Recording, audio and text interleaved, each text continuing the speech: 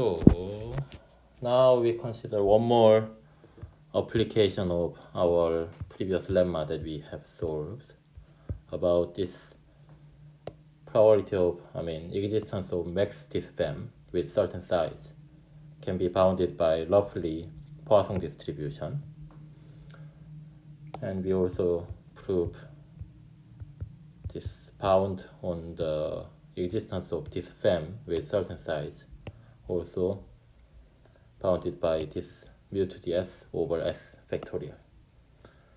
And we want to consider the application about counting representation of an integer by sum of several other integer. So what we want to do is we have a set S which is a subset of natural number. And we want to express some number n as sums of elements of S. So there are some well-known examples regarding this setup.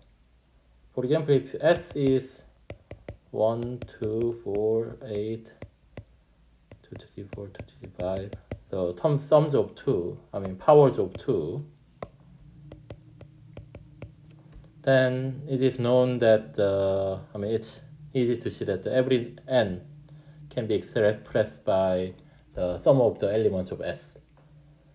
Some of the distinct elements of S in a unique way, which is the binary representation.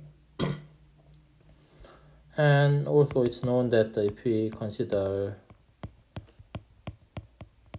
square, then it's known that uh, every natural number can be expressed as the n most 4 sums, I mean, sums of n most 4 elements in this set S.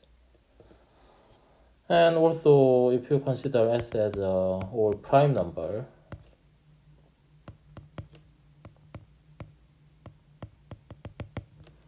and Goldbach's conjecture says that uh, every even number can be expressed as the sum of two elements of S. So now what we want to show is that, uh, I mean, in regarding this theme, we want to consider one problem is asking there any S such that uh, let's write it in this way. Let f of s of n be the number of x comma y with x plus y is n. Say x and y are distinct element in S.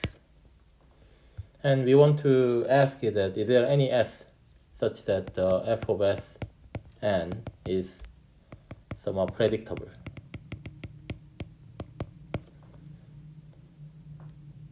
Of course, I mean, in general, I mean, whatever S is, the exact computation of this f sub s of n can be difficult unless it is a somewhat trivial case like s is all natural number or something. So we want to show that uh, there are um, if s is all natural number, then obviously this fn sub s is you can take uh, 1 n minus 1, 2 n minus 2, and uh, n over 2, n over 2. So it's n over 2. But we want to find a somewhat much sparser set where we are currently considering about the only sum of two numbers. So we want to show that uh, there are somewhat more sparser set whose f value is again somewhat predictable.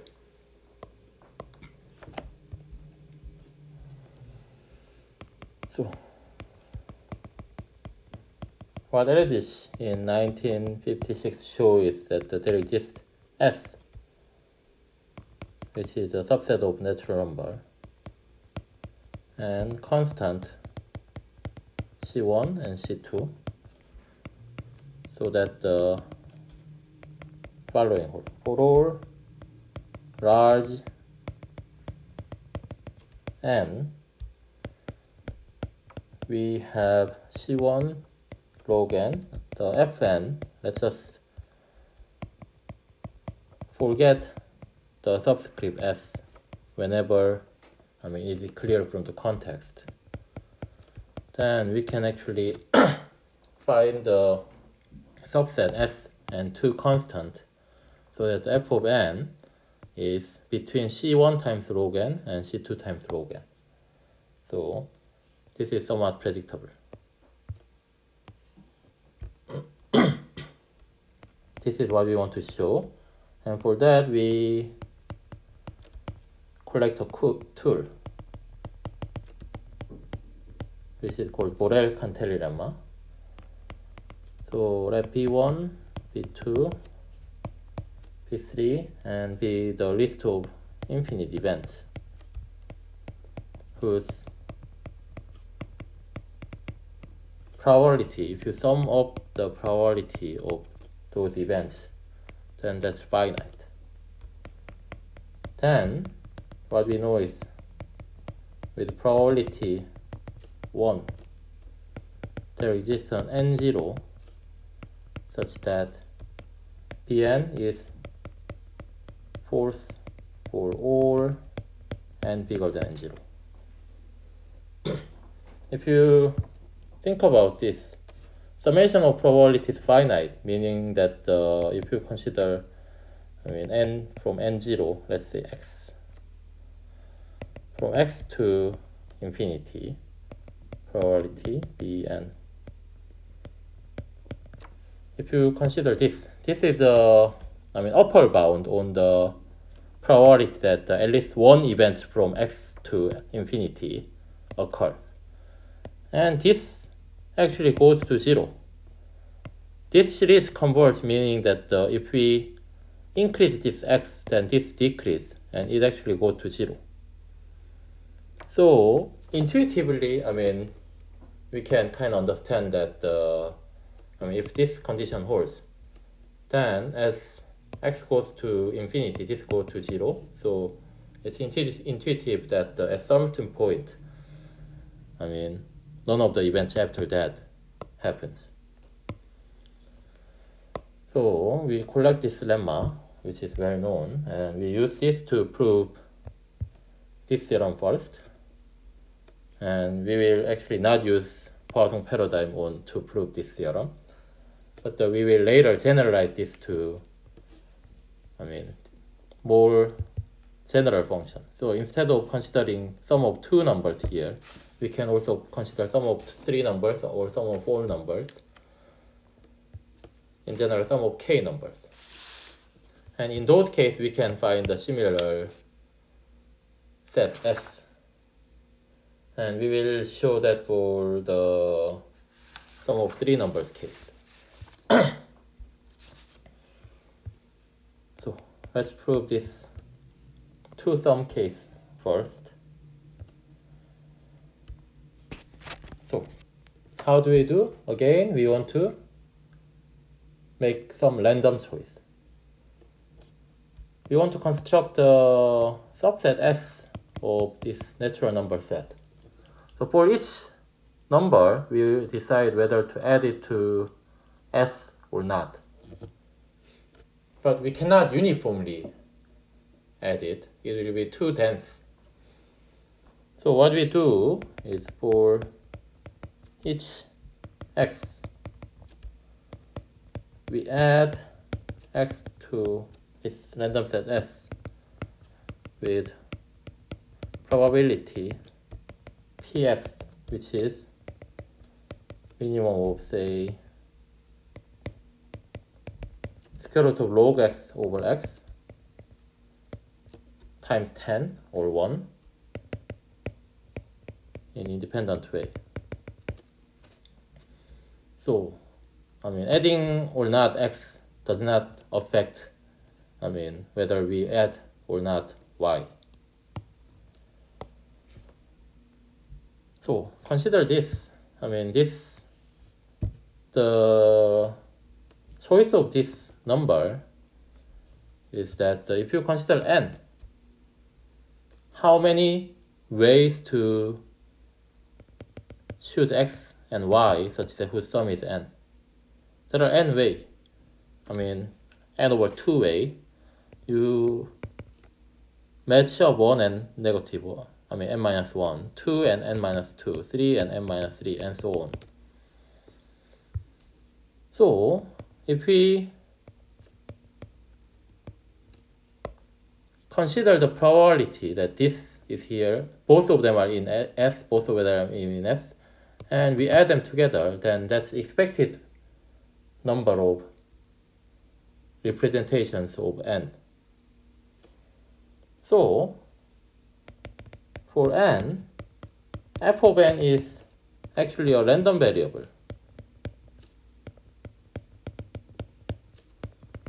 with the expectation is actually half times summation of x plus y equal n. So we forget the order and we multiply px and py and add together. Because our goal is to make this fx as a log n, some constant times log n. Then there are n terms and we on average we want to make it so n terms, each of them is, I mean, roughly we want to, we want each of them to be this, which is a multiplication of two numbers. So each of them, we want them to be roughly log n over n to the, I mean, square root. So that motivates this choice.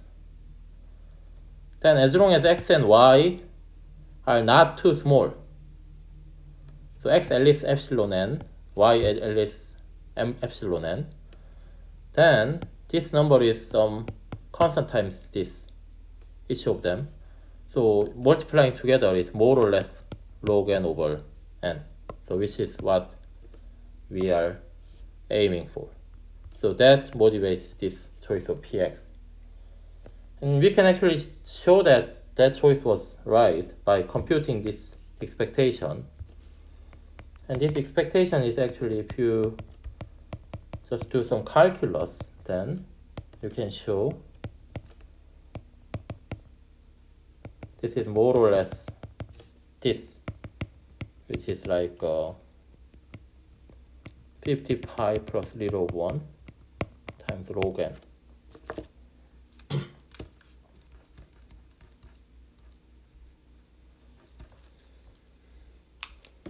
So how can you show this? So this is actually, if you compute this, you can, so you can write this as uh, the following. So you just take the epsilon to 1 minus epsilon. So consider x and y both at least epsilon and case. Then what does that become? This is uh, log x, x, log y, y. But both of them are at least epsilon n.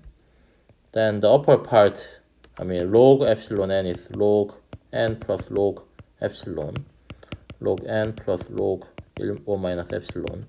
You make the computation, then the if epsilon n is epsilon is some small number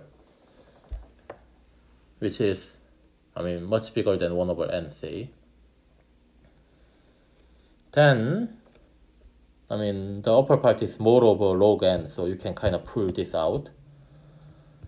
And you have to still compute the this and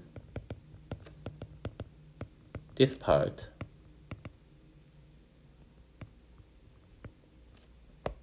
say 1 minus n minus x n minus x. But uh, if you think about this, this is what? In this case we have this 2 and it's at most. So we know that both is at most 1 so this is at most 1 so if you consider the later part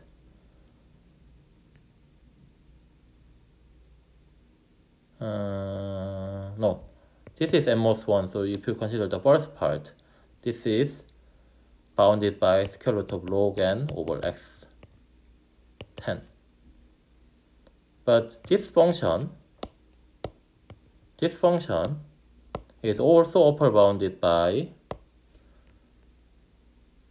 say x to the half negative half plus epsilon uh, let's use different letter. Delta. But what's this?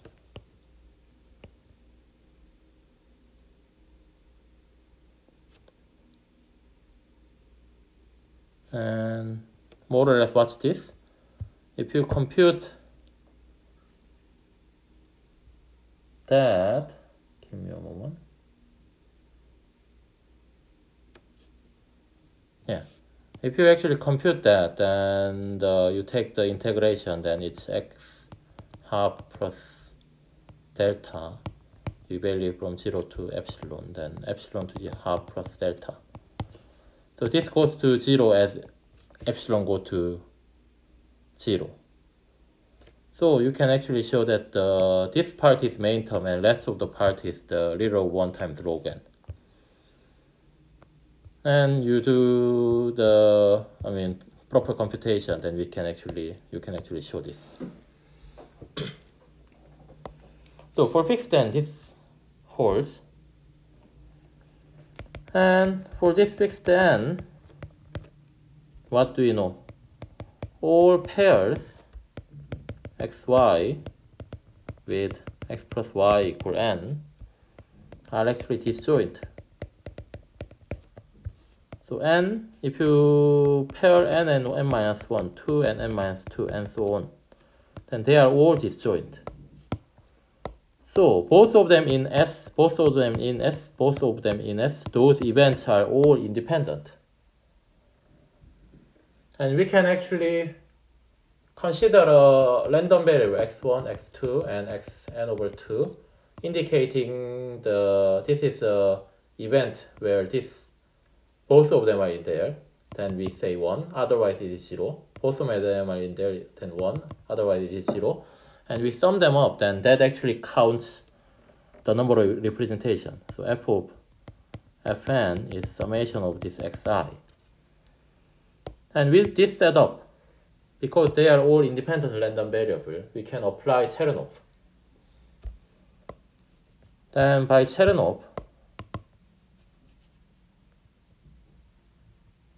if you say probability that uh, this f of n is deviated from its expectation by 0.9 mu is at most 2 times e to the negative 0.9 mu square over say 4 mu which is smaller than 2 times e to the negative 0.1 mu but uh, with this choice if you put it in then this is smaller than say n to the negative 1.1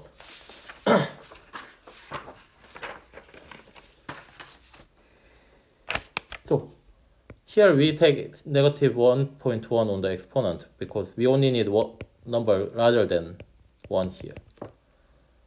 Because if you sum this up, then this is positive, I mean, finite. Then we can apply Borel-Cantelli lemma.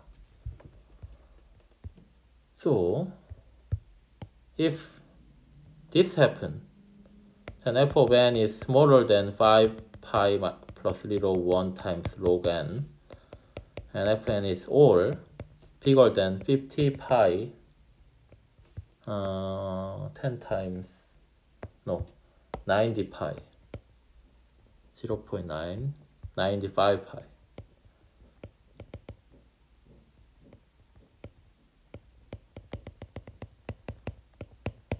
Ln n.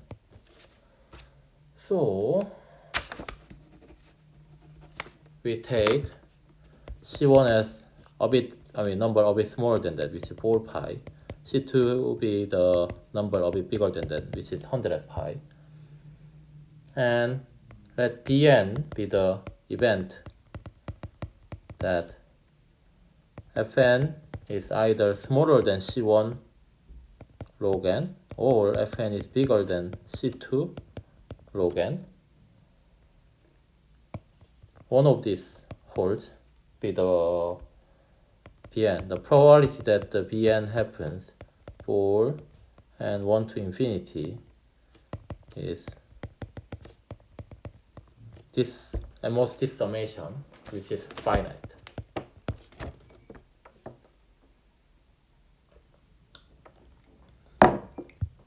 So by the Borel-Cantelli lemma, with probability 1, we know that there is n0 such that Pn fails for all n at least n0.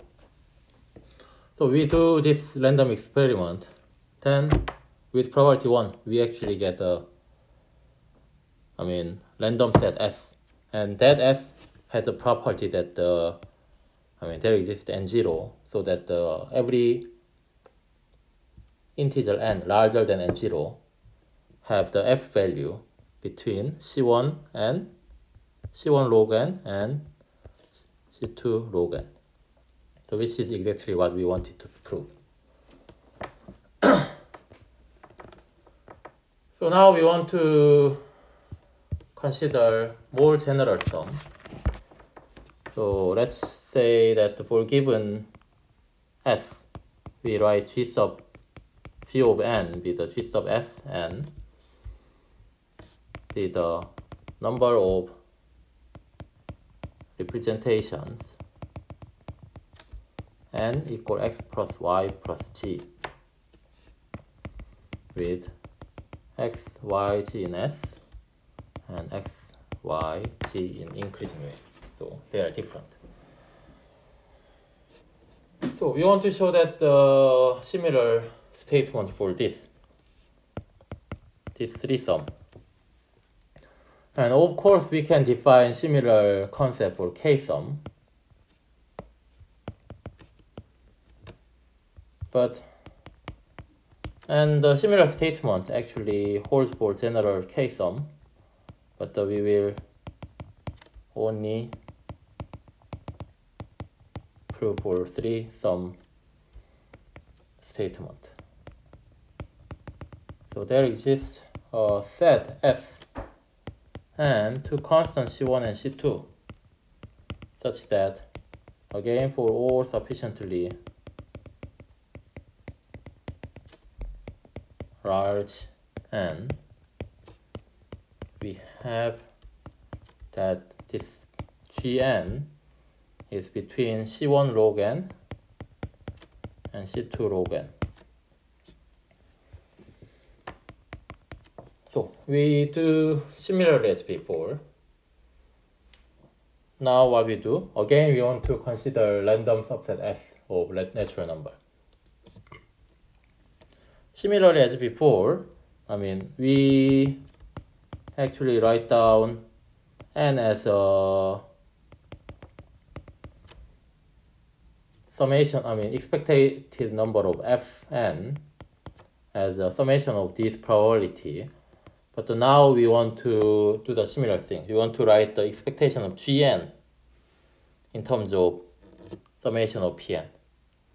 That actually motivates how we can define p sub x. So for each natural number, we again add x to s in independent way, independently and random with probability p sub x, again minimum of some say large constant times log x over x squared to the one third.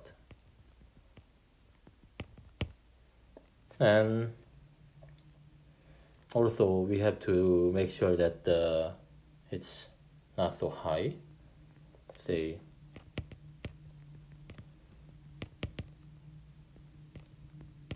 half. So for smaller values of x it could be bigger than 1 which is not good. So we already artificially put this. For some large number m. Then similarly as before, we can actually compute this mu, which is expectation of g n. Let's say n is fixed, which is summation of over all x, y, g. You add px times py times pg. Then again, similar as before, you can compute. Again, similarly as before, we can take care of the boundary case when x is very close to 1 or very close to 0, y is very close to 0 or 1. Those cases we can actually compute the integral which actually go to 0 as the interval here gets smaller. Say, yeah, this interval gets smaller than the integral goes to zero, so it only constitutes to the little one term.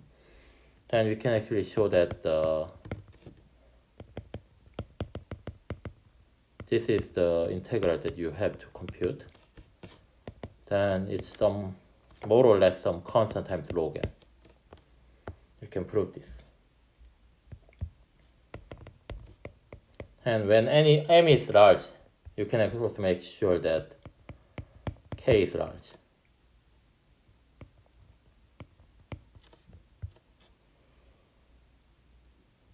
So now what we want to do is we want to use the previous lemma regarding maximum disjoint family and disjoint family.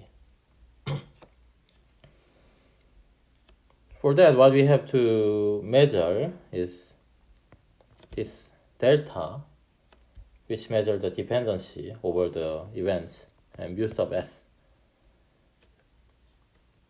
which is uh, lower bounded by this mu minus s mu. So we want to show that f mu s and mu are more or less close, and this delta is small. So this delta measuring dependency of the events are we consider the pair x plus y plus g is n and x plus y prime plus g prime is n. So again, we want to consider the these two events which are not disjoint. If we have x, y, g, and x prime, y prime, g prime, these number six numbers are all different, then all three of them are in S and all three of them are in S. Those events are independent. And those independent events are not counted when you measure this delta. So you want to consider the case where one are intersecting. So here we don't I mean, put any ordering on the x and, and y and g, so we can assume that x is the one that intersects. Then, roughly how many such pairs are here? You can choose n with x with n choices, and y with n choices, and y prime with n choices, so n cube choices. Once you choose this, g and g prime are automatically determined because their sum is n. So there are n cube terms. And this summation of, I mean, this multiplication of five numbers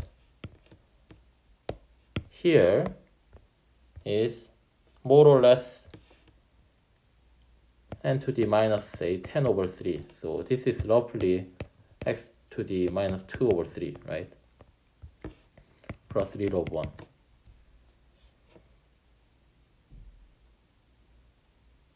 Again, I mean, we can, so this is only true when x and y and g are not too small. But uh, you also can consider the case where one of them is small. If one of them is small, then we, let's say, I mean, x is small. Then number of choice of y and y prime are only n square. And you can actually compute that uh, this doesn't contribute much. and also consider y and g, g are small, then I mean you can also show that uh, those terms are small. Then this is actually the main term, which is root of 1, because this 10 over 3 is bigger than 3. So delta is small. And now we want to consider this mu sub s for specific s, right? And what s we want to take is that similar to before, we consider S and most 3 mu, which is we know more or less log n times some constant. Then what mu s is the you you fix x, y, z, which sums up to n. So you, you fix representations 1 and 2 and so on S representations.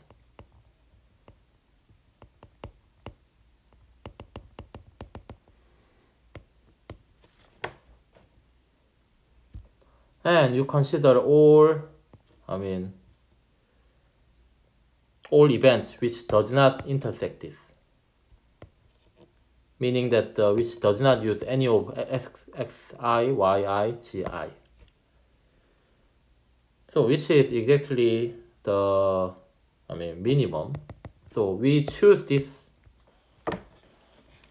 representations so that the such summation of the probability of events are minimized.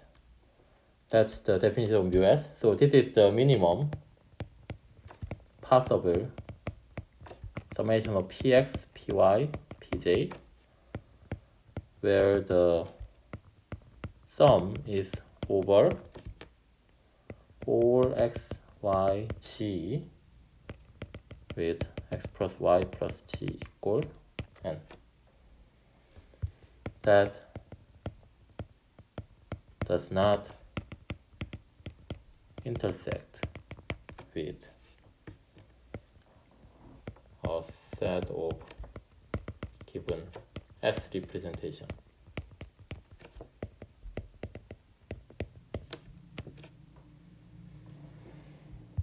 So what do we know? S is some constant times log n, so theta of log n,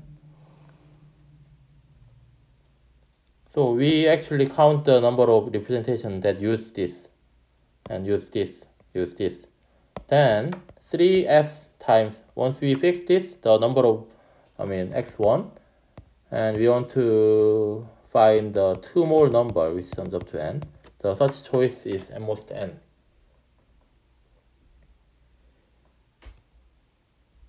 So we have and most these terms which intersect. So that much is subtracted from mu.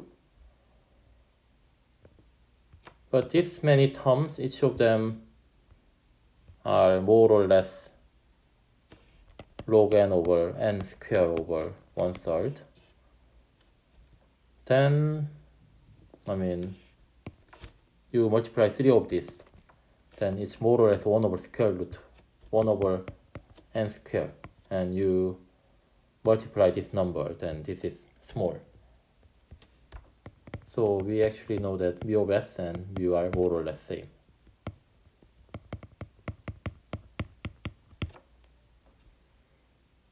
It's not even this this is mu plus little 1 uh, yes little 1 So now as before, what do we know? We can consider the J maximum disjoint family or disjoint family. Here, disjoint family means collection of events that happen which are not intersecting, so which are independent of each other. So we count all the triple which sums up to n and they don't use the same number. Then if we let P be a Poisson, P be the Poisson distribution with average mu, then what do we know? The probability that there exists maximum disjoint family J with a size smaller than 1 minus epsilon mu. Is at most 1 plus 0 1 times the probability that the Poisson distribution is more smaller than 1 minus mu 1 minus epsilon times mu which is I mean we are exactly using this lemma. So here this part is this. And because this is small little 1 and this is small little 1 so they own this converts it to 1 plus little 1 and this part is same.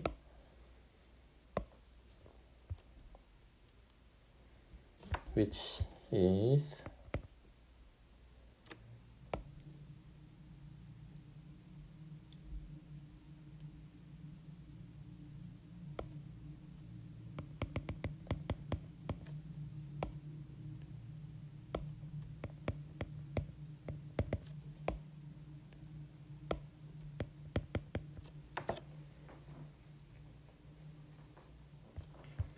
and again the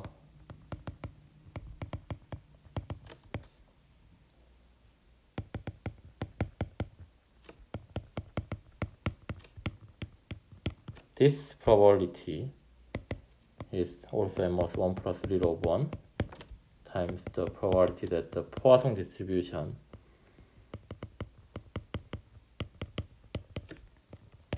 is here and the probability that uh, again if s is bigger than 3 mu we just use the probability for this fem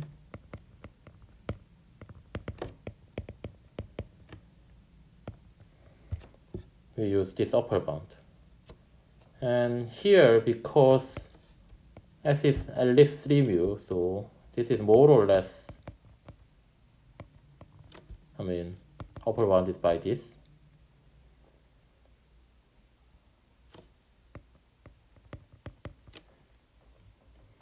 And again, mu is k log n. k is big enough. So if you know this, then this is now, I mean, smaller than n to the minus, say, 2 or some number, any number bigger than 1. So this also is little of n to the minus say 2. That comes from the choice of k. So if we make sure that k is some large constant, then we can get this. So you add this probability, then we can actually check that the, I mean, let's say Pn is the event that this J that exists max this fem of size 1 minus epsilon mu or 1 plus epsilon mu then we can check the summation of probability of Bn is finite. So with property 1, what do we know? There exists n0 such that no Bn happens for n at least n0. So this implies that uh, there exists C1 and C2 such that for all n bigger than n0, there exists a max dispam J of size between C1 log n and C2 log n let's say C prime, C1 prime, C2 prime. This is with probability 1. So when we choose S at random, then probability 1, with probability 1, we now we have S, our S has this property that uh, there exists N0 so, so that uh, any number N larger than S once we fix n, now we count the, I mean, triples, which sums up to n. And out of those all triple, we choose a maximum disjoint family. So family of triple that doesn't intersect each other, and it is maximum with respect to, to that as I mean aspect. Then there exists at least one maximum disjoint family satisfying this condition for all n. Now we want to convert this size of a, size of j into g of n. This inequality is easy because this is number of all representation and this is number of all disjoint representation. Number of a maximal disjoint representation. So this is easy, but uh, can we bound this using j and something else? So now we want to again make a connection between J and this G. So again, the uh, how we do it is in a ad hoc way. It depending on the problem. So for this problem, we can try to consider the case that uh, this is n and we have another representation which are not disjoint. Then this case, when x is same, then this two number adds up to n minus x. And number of such choices are related to the previous problem f.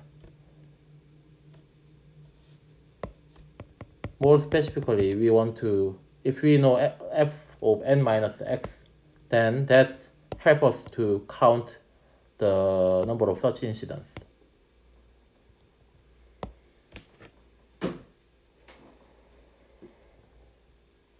So again, let fn be the number of representations of n as the sum of two elements of S. Then what's expectation of fn? So now our choice of the probability for this random set S is this. then expected number of Fn is half times summation of all pairs. You take x and y to the negative two thirds plus little of one. Then you can show that again this is more or less n to the minus one third plus little one.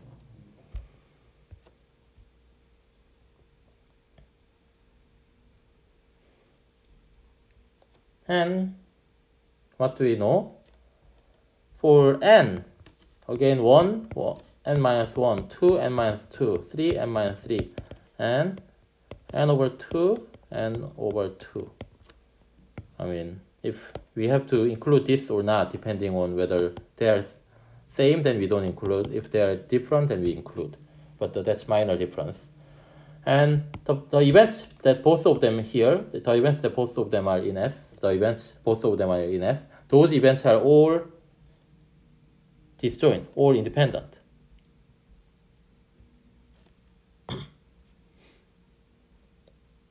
Then again here you can apply the previous theorem, say this theorem, showing that uh, if you want to count how many of these events actually occur, and the probability that S of them occurs is actually same as in this case, same as this disjoint, I mean existence, existence of disjoint family. Because all of them are disjoint, if you take a maximal disjoint family here, then that's the number of elements in that maximum disjoint family is exactly fn. So we can directly use just this to actually show that the, the probability that fn is at least say 4 is at most expectation of fn to the 4 over 4 factorial using this. Then what's this? We know the expectation, so that's n to the 4, uh, negative 4 over 3 plus 3 log 1.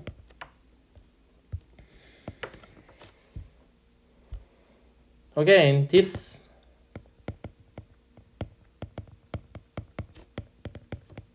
sums up to finite number.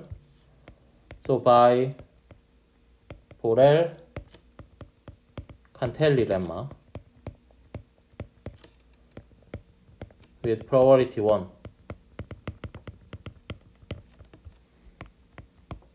we have that f of n is m mod 3 so complement event for all sufficiently large n meaning that the for all, I mean, there exists n0 so that this holds for all n larger than n0.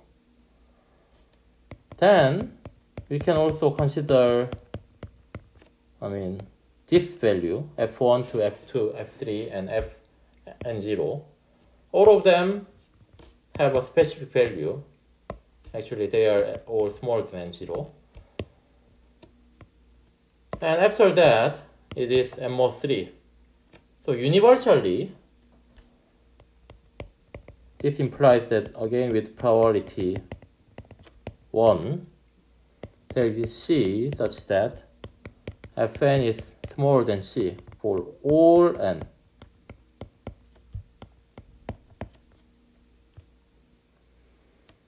So this is an event that happens with probability 1 and this is the event that happens with the probability 1. So if we draw a random set S, then both events happen at the same time. So that means there exists a set S such that Fn is M mod C for all S, all N, sorry. And for all sufficiently large n, there exists uh, maximum disjoint family J of size between C1 prime log n and C2 prime log n.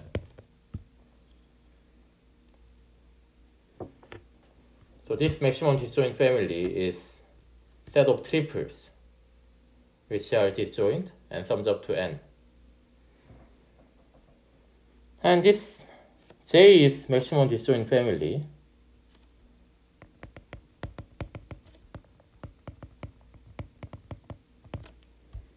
What we know is for every x, y, g triple in S with x plus y plus g is n, it must contain at least one of these and most 3c2 prime log n numbers consisting diff J.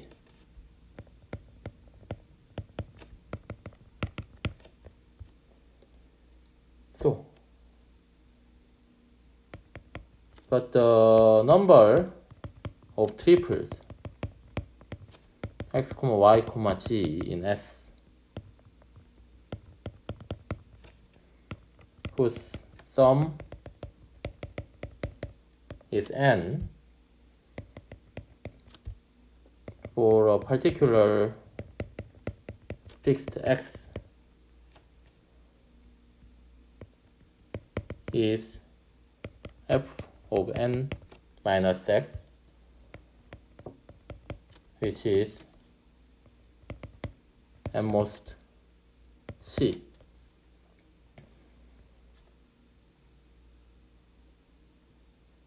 So, what do we know?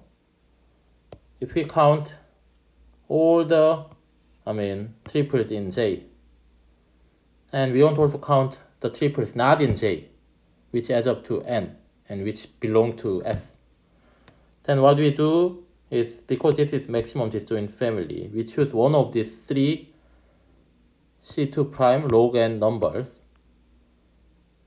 which is say x, and we express this n minus g into sum of yg. Then this x with yg forms a triple that we want to count. And such number of choice for y and g is c. So, and this counts, this must count all triples as adding up to n, which each coordinate number lies in S. So there are at most 3 times C times C prime C2 prime log n total representation of n into sum of three number.